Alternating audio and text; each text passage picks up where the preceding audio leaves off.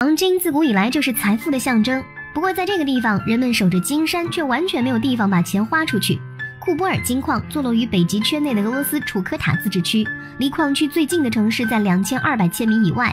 在这里气温可以低至零下五十摄氏度，矿工们只能通过乘坐飞机抵达，所以库波尔金矿是世界上最与世隔绝的矿区之一，也是最孤独的金矿。矿区工人来自世界各地，除了俄罗斯之外，还有来自乌克兰、加拿大、巴西和匈牙利，大约有一千名职工将连续工作两个月，随后拥有两个月的休假。在每天工作的十二小时内，矿工需要将位于地下四百米的金矿石从地下的矿脉中提取出来。矿区使用四千五百吨矿石，这些矿石被放置在移动的球磨破碎机上，通过氰化物在槽中实现过滤，然后被带送至压力机电池上，中底热冶炼炉。